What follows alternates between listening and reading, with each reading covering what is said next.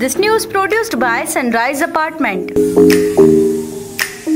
नागपुर में मंगलवार रात निर्माणाधीन परडी कलमना फ्लाईओवर का एक हिस्सा बीच से टूट गया।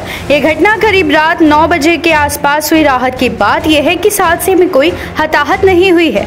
हादसे के वक्त ब्रिज के पास कोई मौजूद नहीं था। रिपोर्ट्स के अनुसार कलमना रिंग रोड पर भरत नगर चौकी के नज़दीक महाकाल कर सभागृह स्थित पुल के दो पिलर के बीच 10 गर्डर गिर गए थे। पुल का निर्माण National Highway Authority of India, NHAI के तहत किया जा रहा है। हादसे की सूचना पाकर सिटी पुलिस की टीम और नगर निगम की फायर और इमरजेंसी सर्विस घटना स्थल पर पहुँची। पुलिस कमिश्नर अमितेश कुमार ने कहा, अगर एनएचएआई शिकायत दर्ज कराता है तो कानूनी कार्रवाई पर विचार किया जाएगा। स्थानीय पार्षद प्रदीप पोहाने भी घटना स्थल पर पहुँचे और उन्होंने बताया कि पुल का एक हिस्सा रात करीब नौ बजकर बीस मिनट पर ढह गया।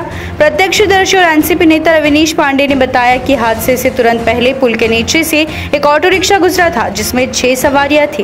प्रत्यक्षदर्शियों का कहना है कि हादसे में कोई जनहानि नहीं हुई, क्योंकि फ्लाईओवर के नीचे की सड़क वाहनों की आवाजाही के लिए बंद है। कंस्ट्रक्शन वर्क में गति लाने के लिए ट्रैफ़िक को बंद रखा गया था। सिर्फ़ फ्लाईओवर के साथ लगी सर्विस रोड पर ही वाहनों को जाने की अनुमति है।